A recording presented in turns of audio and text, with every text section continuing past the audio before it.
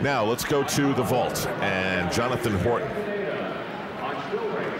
Remember, he started roughly on his first event, pommel horse, but came back very strong, and this is a great event for Jonathan. He was phenomenal in day one, scored a 16.05, one of the biggest numbers we've seen thrown out at these championships for both men or women.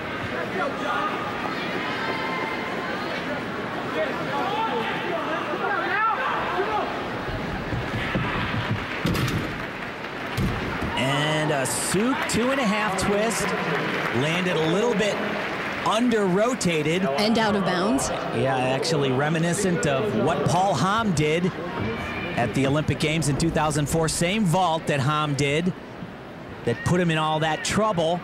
Two and a half twist. He just steps that foot outside, under rotates. He'll get deductions for both not rotating enough and for going out of bounds. You see that tenth of a point.